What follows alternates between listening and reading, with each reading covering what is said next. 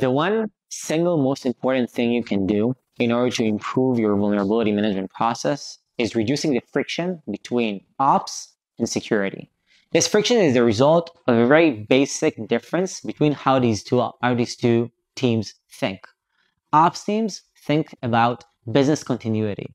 And without business continuity and without ops, there is no business. Security are thinking about security, which usually collides with business, collides with delivering features, collides with moving fast, collides with openness, which usually contributes to all of these features, all of these attributes of the business.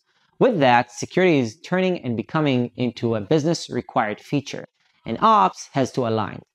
Our goal as security practitioners in order to reduce this friction is not to think that the ops teams, whether their plates are super busy with other stuff apart from security, will align to us. We have to align to them.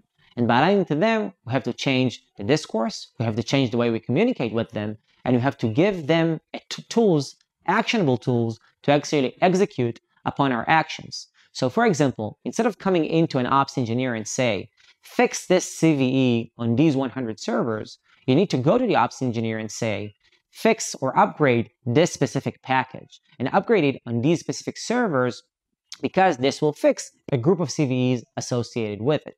Now, if you want to even go one step further, as we do in Vulcan, take an Ansible script or a Chef cookbook that already aligns with the change management process that the ops teams had, had, had dictated. For example, here's a script, an Ansible script that patches your test environment and has these packages are being updated. And once this is tested and solved, then execute another script on your prod environment.